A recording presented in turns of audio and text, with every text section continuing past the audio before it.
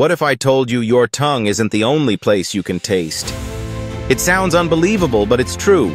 Taste receptors exist in surprising places beyond your mouth.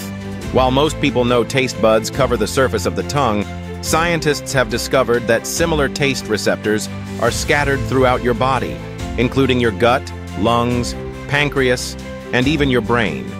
These extraoral taste receptors don't help you savor pizza or chocolate, but they do play crucial roles in maintaining your health. In your gut, for example, they detect nutrients and help regulate digestion, nutrient absorption, and appetite control.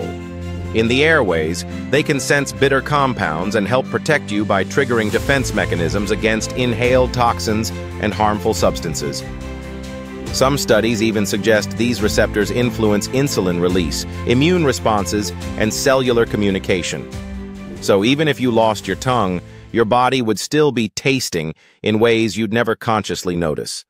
Next time you think of taste as just a tongue trick, remember, your whole body is wired to experience flavors in remarkable and unexpected ways.